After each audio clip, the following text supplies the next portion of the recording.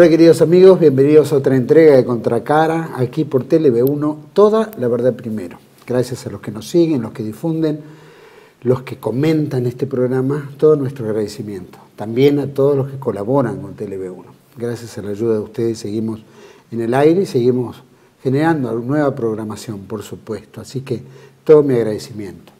Como siempre, transmitimos este programa a través de nuestra página web www.canaltelev1.com y debajo de este programa van a encontrar las redes sociales en las cuales nos comunicamos de la actualidad, qué es lo que pasa, cómo vemos esta realidad. También quiero comentarles que ponemos este programa, como siempre lo hacemos, bajo la protección y advocación de la Virgen de Guadalupe, Reina y Señora, Emperatriz de América, ¿no? como siempre decimos, nos guíe en este mundo tan adverso nos muestre la luz en el final del camino, que es lo que debemos seguir, para, ¿no es cierto?, tratar de encaminarnos hacia el bien, la verdad y la belleza, que es nuestro sentido de la vida. Eh, programa de hoy. Bueno, se han cumplido 40 años del inicio de la Guerra de Malvinas. El próximo 14 de noviembre, la próxima semana, vamos a ver esa conclusión de 72 horas de excursión y donde Argentina marcó su soberanía, ¿no es cierto?, de recuperar esa parte de territorio tan importante. Por supuesto, las circunstancias llevaron a que no vamos a perder ese amor por esa patria. No lo perdemos en ningún aspecto. Lo que sí es, está nuestro poder político, que es el que debe negociar o no, o defender nuestra soberanía como debería hacerlo, y que efectivamente lo vemos muy dubitativo, tanto en los poderes eh, legislativo, judicial como ejecutivo.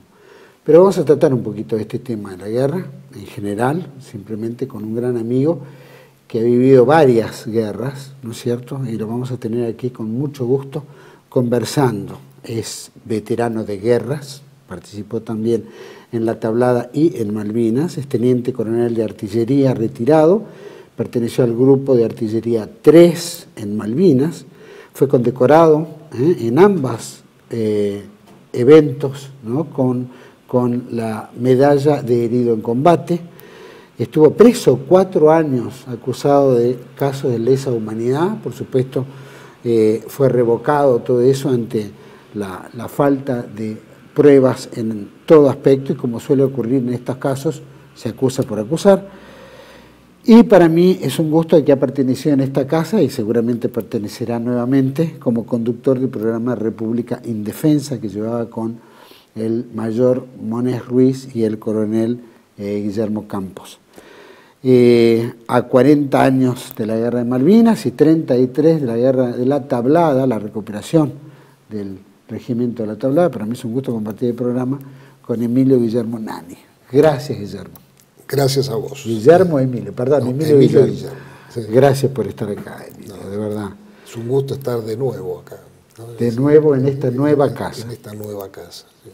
Bueno, siempre hay que cambiar. Dice que cambiar hace bien, renueva los aires. Y es un nuevo desafío. Es un nuevo desafío. y veníamos con, castigos muy severos por todas las plataformas, sectores, censura y todo. Pero aquí estamos, seguimos dando lucha. Eh, Emilio, eh, un poco el tema este, ¿no? Ya se han cumplido 40 años del inicio de la guerra, en breve van a ser 40 años del, digamos, de la caída de Puerto Argentino. Eh, ¿Qué balance puedes hacer de, Malvinas, toda tu experiencia, herido también? Mira, como digo siempre, eh, para mí Malvinas es algo más que una guerra. Malvinas uno la, la traía incorporada desde la niñez, porque siempre nos hablaban de que las Malvinas eran argentinas y que estaban en manos de los ingleses. Y en mí siempre hubo un, un sentimiento diferente por ahí con respecto a, mucha gente. Es decir, siempre lo tuve en cuenta, no sé por qué. Esas cosas que suceden, este, de, adolescentes eh, nos juntábamos en un, lo que hoy sería un grupo de opinión, un think tank de Malvinas, ¿no? y hablábamos de Malvinas y tratábamos de, conocer a través de los libros y de lo que se escribía. Así que cuando el 2 de abril me entero que las habíamos recuperado, eh, todo ese sentimiento acumulado explotó.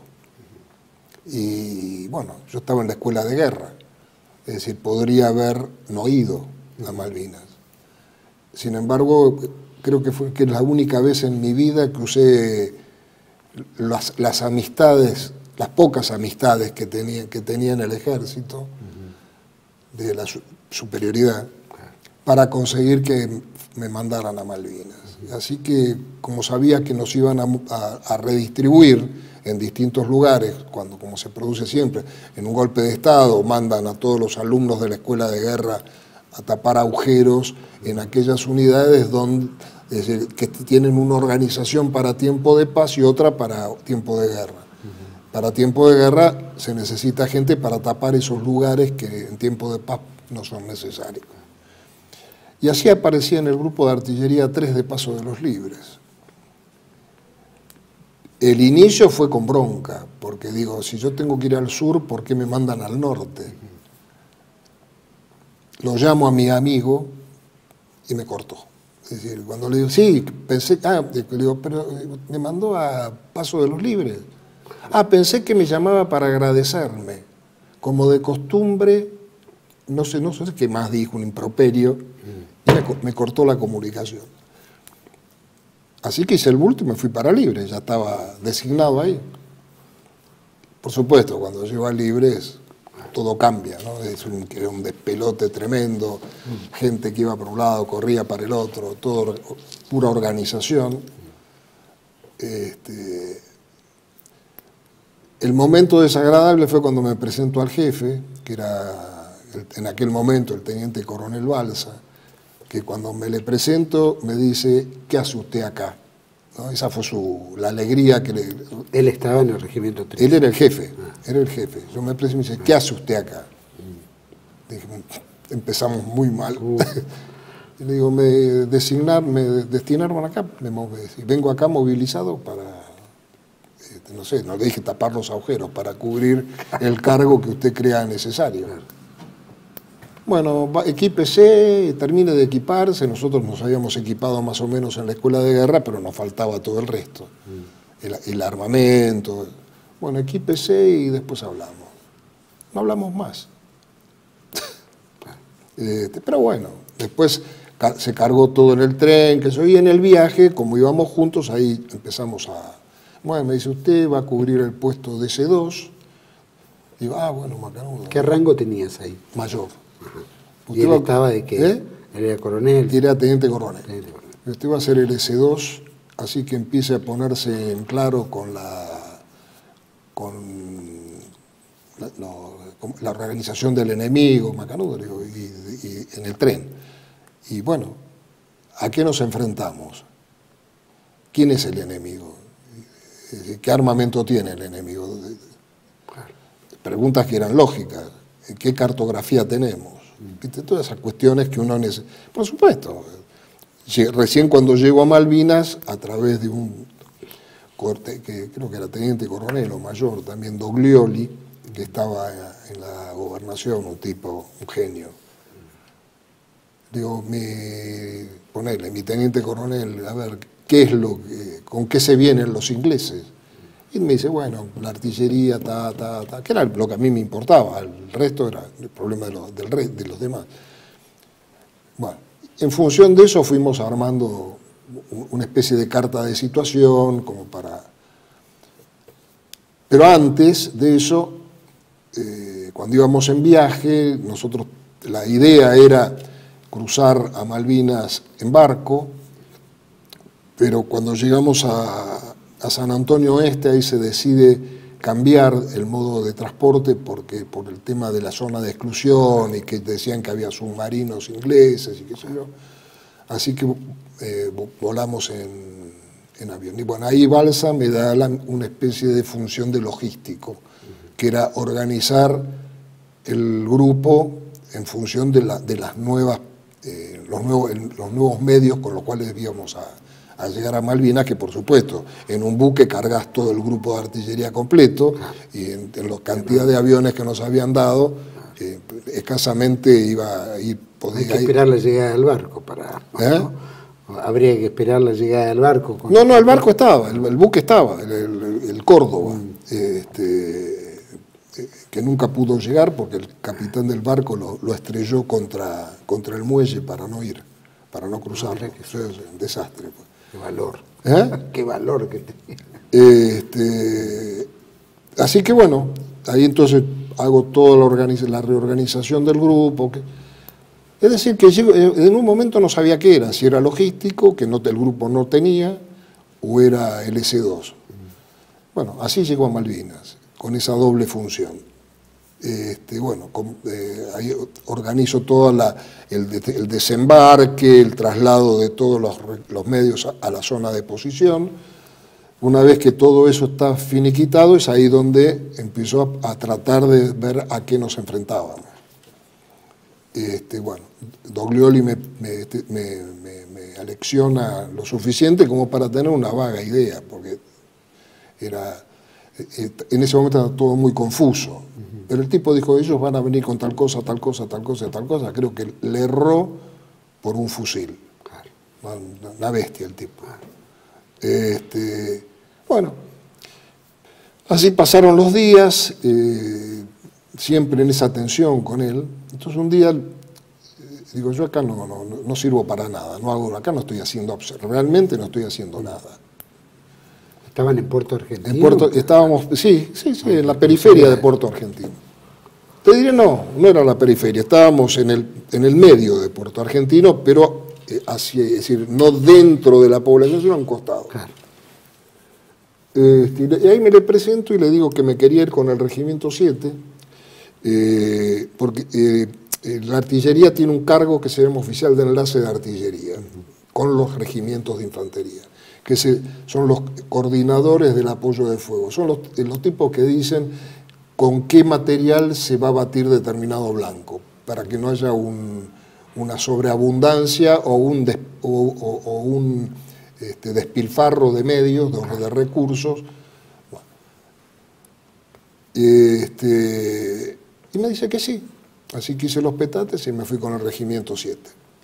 Te digo que fue la mejor decisión que pude haber tomado, porque combatí como artillero y como infante. Este,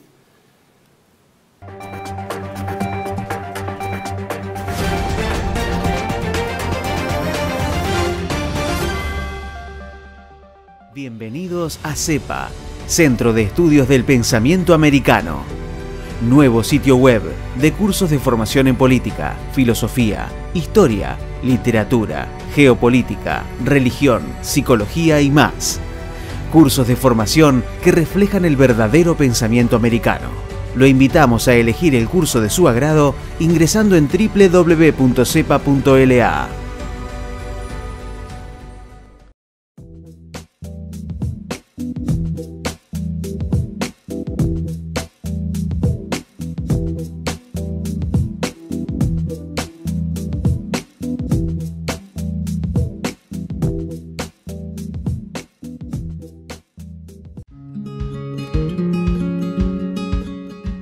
Residencia de Los Ángeles es un hogar para adultos mayores habilitado en la ciudad de Buenos Aires, cuyo objetivo es la atención y cuidado de pacientes de la tercera edad. Más de 30 años de experiencia nos respaldan. Trabajamos con dedicación para cuidar a nuestros abuelos y así ofrecerles la felicidad y comodidad que ellos merecen. Estamos en el barrio Villarreal, pasaje Francisco Bausá 2372, casi esquina Tinogasta. Comuníquese con María al 11 61 70 45 38. Los esperamos.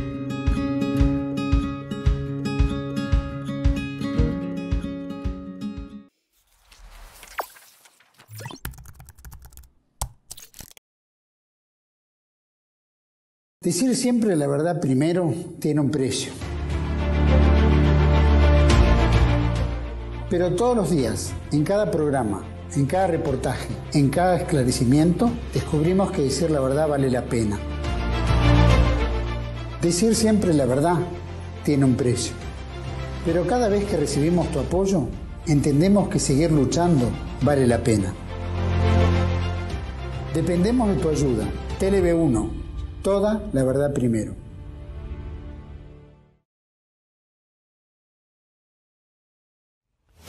El mundo detrás de las cortinas, la historia como instrumento de control de las masas de Samuel Cruz, un libro que desenmascara los mecanismos de control de las masas puestos en práctica por el Instituto Tavistock en la Segunda Guerra Mundial contra Alemania y contra la humanidad, disponible en Argentina en editorial Cruz y Fierro. El mundo detrás de las cortinas, de Samuel Cruz.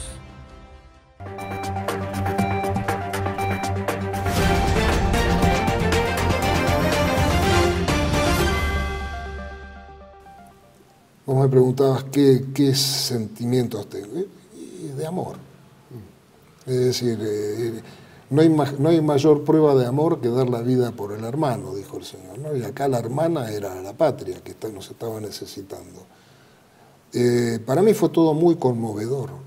Eh, cada momento que viví, te, diría que no tuve, salvo esos encontronazos que después se resolvieron con el tiempo, eh, con Balsa logramos una relación amistosa, te diría, eh, no de amigos por diferencia de jerarquía, pero una muy buena relación, hasta que él hace la autocrítica y se cambia de bando.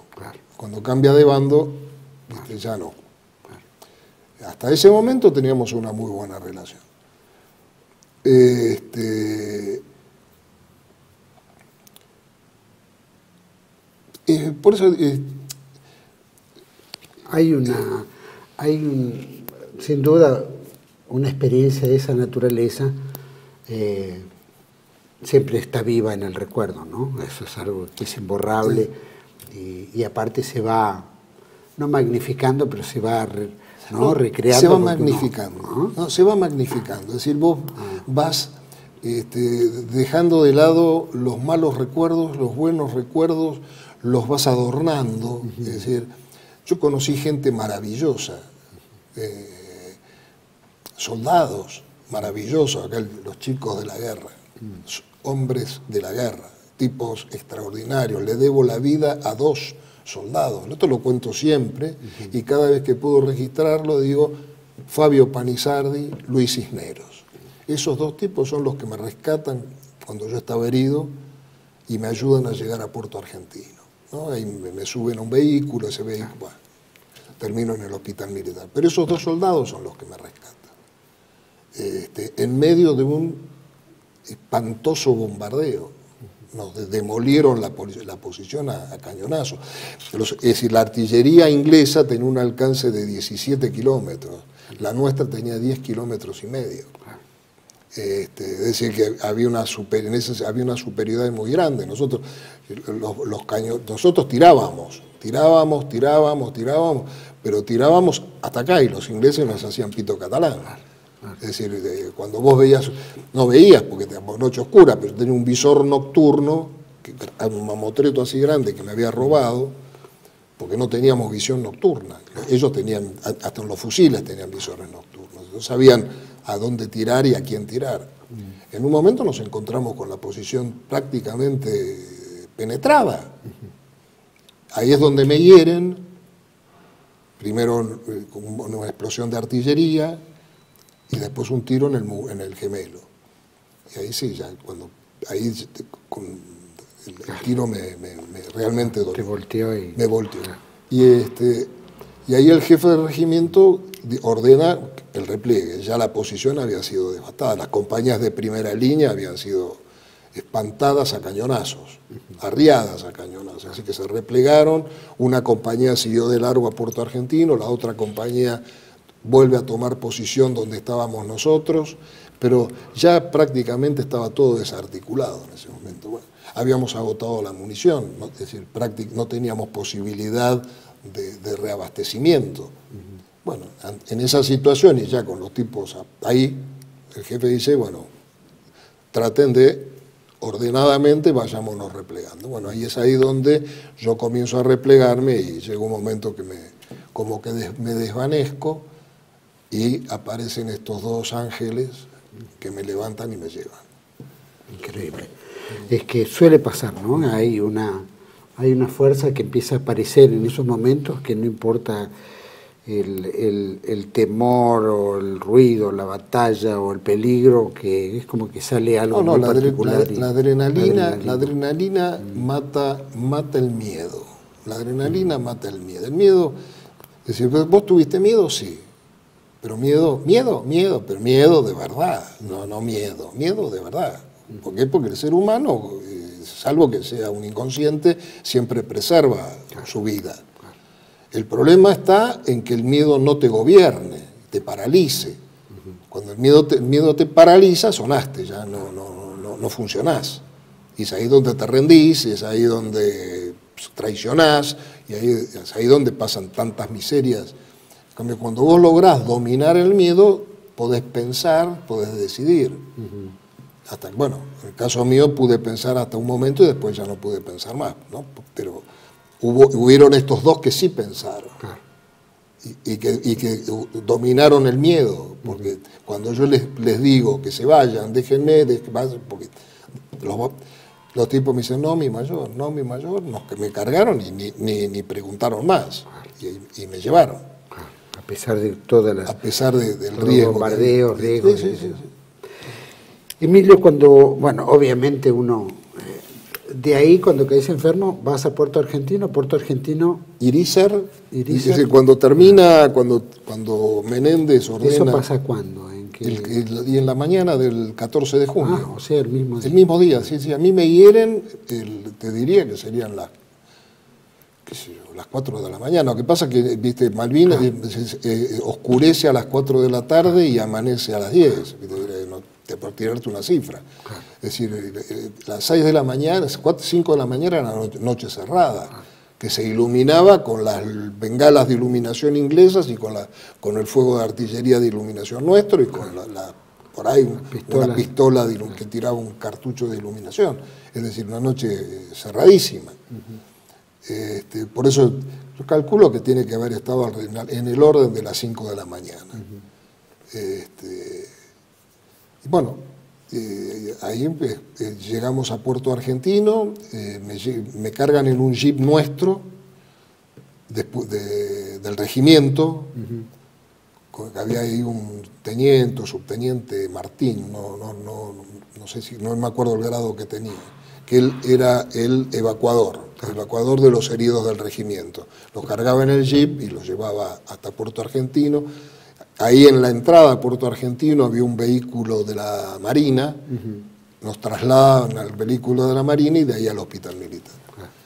Bueno, en el hospital militar me hacen las, No eran heridas graves, gracias a Dios, había tipos muchísimos, pero tremendamente peores. Pero me hacen un, surcido rápido, como para contener la pérdida de sangre y eso, y me dejan, me dejan porque eran más, más importantes eran los otros. En eso, silencio. ¿Viste? Del bombardeo ensordecedor a un silencio, silencio ensordecedor. Ahí ya era de día. Este, entonces, acá se acabó. Y al rato aparecen unos militares ingleses adentro del hospital, recorriéndolo, y al rato, oh, eh, bueno, dicen, bueno, vamos a evacuarlos hasta al almirante Irizar, que era el buque hospital nuestro, nos cargan, van cargando a todos y en helicóptero nos van llevando a, al Irizar. Hacen que los propios argentinos lo carguen y lo lleven. ¿no? Sí, sí, sí, sí, por supuesto. En los helicópteros nuestros, no, no se evacúan. Y, este, y el Irizar eh, queda ahí hasta que ahí ya pierdo la, Estábamos en la bodega, así que no, sé si fue uno o dos días estuvimos ahí hasta que los ingleses autorizan que el rompehielos vaya a, a Comodoro Rivadavia. Y ahí bajamos en Comodoro, nos llevan al hospital de Comodoro, eh, bueno, ahí nos siguen atendiendo, o sea, curándonos. Y yo veía que podía, yo me movía con muletas, pero podía moverme. Y ahí me doy cuenta que no yo como no tenía nadie a cargo, porque era movilizado, no tenía ningún, nadie a quien cuidar, a quien este, ayudar, salvo camaradas, ¿no? Pero todo eso estaba prácticamente solucionado. Y ahí es cuando digo, bueno, acá no tengo más nada que hacer, me vuelvo. Eh, hablo con un coronel, que era el que estaba a cargo de los heridos, le digo que me quiero ir, por supuesto no me presta la menor atención. Aparece un amigo mío de Comodoro Rivadavia, que vive en Comodoro Rivadavia, me dice, ¿qué necesitas? Llévame al aeropuerto. Que sí, me, vestí, me llevó al aeropuerto, me cargaron en un avión de aerolíneas, porque había ahí un oficial de enlace, me consigue, yo no tengo un mango, es decir, que el tipo me consigue el, pasaje, el, pasaje el asiento en el avión y de ahí vuelvo a Buenos Aires. Obviamente cualquier cierre de la guerra duele, especialmente si, si en esas circunstancias sea que no, que no hubo la victoria esperada, ¿no? el deseo del logro. ¿Se percibía que, que se iba terminando? Eh, sí, digamos, es decir, se percibía desde el comienzo. Es decir, yo estaba, es decir, yo y no, no solo yo, estábamos convencidos, absolutamente convencidos, que no íbamos a ganar. Mm. Lo único que íbamos a hacer era morir dignamente, pero ganar no íbamos a ganar. Este, ¿Por qué nos enfrentábamos. ¿Por qué se percibía eso? Porque nos enfrentábamos al mundo, ah. Nos enfrentamos al mundo. Ah, la NATO, ¿no? Era. Claro, es decir, este, a nosotros no nos ayudaba nadie. Yo después cuando veo, en ese momento no, pero después cuando veo las fotos de Nicanor Costa Méndez abrazándose con Fidel Castro, mm. te empezás a entender un montón de cosas cuando eh, por una radio escuchábamos las aclamaciones a, Juan Pablo II y después me entero que eran millones de personas que habían ido a, pedirle a, Juan Pablo por la paz, digo, a la pucha, ¿y la nación en armas? ¿Dónde, ¿A dónde quedó la nación en armas? Ahí nos damos cuenta que estábamos absolutamente solos. Y cuento otra, una, historia, que también la cuento siempre en el avión, el comandante, cuando una vez que despega, que dice, bueno, viste, cuando hace las salutaciones, dice, bueno, y tenemos el honor de trasladar a un combatiente de Malvinas, este, pido para él un aplauso. Este fue el aplauso, silencio.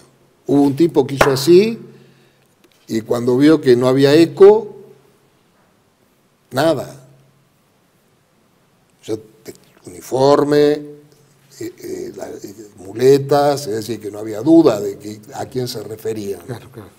Cuando el tipo ve eso, le dice, le dice, al comisario a bordo que me lleve a la cabina. Mm. Y hice el vuelo en la cabina, viste, una vergüenza, me, me sentí humillado, realmente humillado. Digo, la pucha, casi me matan, y estos hijos de su madre, ningún reconocimiento, un espanto fue. Cuando llego a Aeroparque, los únicos gritos de algarabía, el Aeroparque estaba así de gente. Los únicos gritos eran de mi mujer, mis hijas, la familia, y algún amigo que fue. El resto te miraba con asco. Ahí empezó la desmalvinización. La desmalvinización no empezó con Nicolaides. La desmalvinización empezó con el pueblo argentino que nos dio la espalda. ¿Ese producto por la Avenida del Papa decís? O... No, no, no, no, porque, porque perdimos. Porque acá era, viste, triunfantes. ¿viste? Hundimos un barco, otro barco, derribamos 25 aviones, ¿no? Era todo, todo exitista. Y de golpe perdimos. Entonces la gente habrá que, viste, el pueblo nuestro es un pueblo tan raro, una nación tan rara, que se en un mundial de fútbol. ¿Para cómo estábamos en el mundial de fútbol? Es decir, que estaban más preocupados por si hacían unos goles y ganábamos o, que, o si ganábamos la guerra. Esto lo vi yo en el comando de la brigada de Comodoro Rivadavia. Cuando voy a verlo al coronel ese para decirle que me iba, el tipo estaba con las patas arriba de una mesa ratona, televisor, mirando un partido de fútbol. Acá estábamos en guerra, acabamos de perder una guerra y los militares estaban mirando el partido de fútbol. Ahí fue cuando yo estaba mal, ¿no? Dice, ¿qué quiere? Vengo a decirle que me voy. Pero ¿qué le dije? Porque él me había... ¿Qué le dije? Mire, mi coronel, no creo que sea el momento más oportuno para que tengamos una discusión. le informo que me voy. Ahora me fui a la miércoles. vos, vos, empezás a, armar los mosaicos y ahí está la desmalvinización. Cuando te el, tip, el propio camarada te desprecia. ¿Por qué? Porque perdimos. Este pensaría que éramos eh, como Rambo y que teníamos todo para ganar. Nadie se imaginó lo, que, lo, que, era, lo que fue eso. No la quiero comparar con otras guerras mucho más eh, cruentas, ¿no? como lo que pasa con Ucrania, en Vietnam, ah. donde la gente, nosotros estuvimos 72 días, eh, hay tipos que se pasaron años combatiendo. Bueno, cada uno tiene lo suyo. La experiencia que tuve yo fue esa. Entonces, cuando yo veo, por supuesto que uno sabe que es marketing, pero cuando te mandan esas cosas, esos videos con los militares que llegan de, una misión y todos los que están en los aeropuertos los aplauden, los reciben, con nosotros nos escupían por poco. Y también esos militares también vinieron derrotados en algunos momentos. Este, y bueno, después vino todo el proceso que inicia Nicolaides cuando le da el golpe de Estado a, Galtieri, no se esconde, a mí, a mí no porque yo vine por otro camino, pero los que regresaron a partir de mediados de julio, después de haber sido prisioneros de guerra durante un mes, los recibieron como si fueran la resaca. de las resacas los escondieron en, la escuela de Lemo, creo que fue, o en la escuela de suboficiales. Y después sí recuperan algo cuando van llegando, sobre todo en el interior. En el interior las recepciones fueron muy lindas. Los recibieron. el interior siempre es otra cosa, es otro, otro planeta. Entonces, ahí sí. Pero después, es decir, todo eso se apaga, viene esto que dicen que es democracia, y de la mano, primero, el impulso de Nicolaides más, más Alfonsín y compañía, bueno, todo se fue a la miércoles. Y, cada tanto hay un estertor que nos dice que, que, la gente nos quiere, el 17 de, no, en, ¿cuándo fue?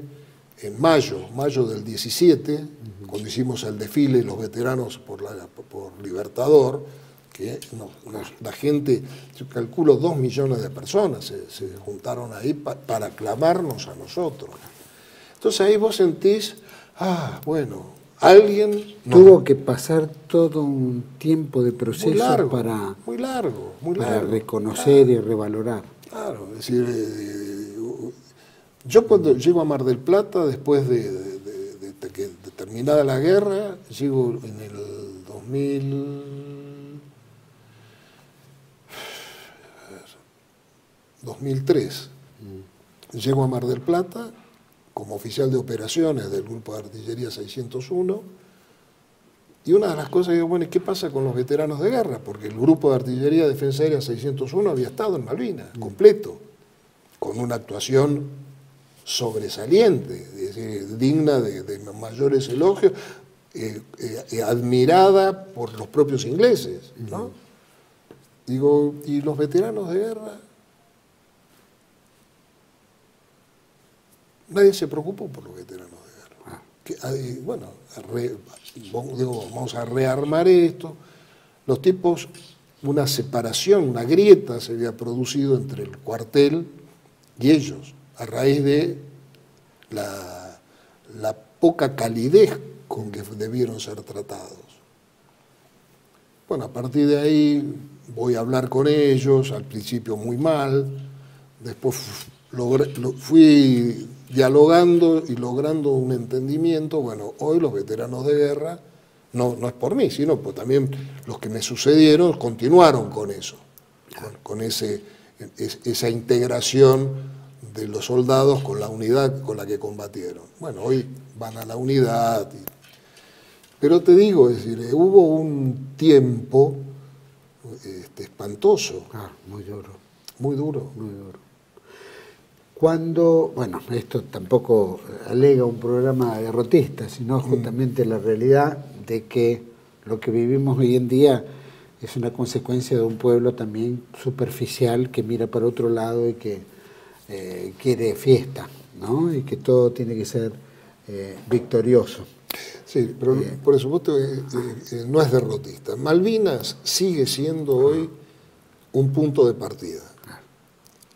Sigue siendo un punto de partida. Es decir, en algún momento vamos a tener que tomar el avión. ¿eh?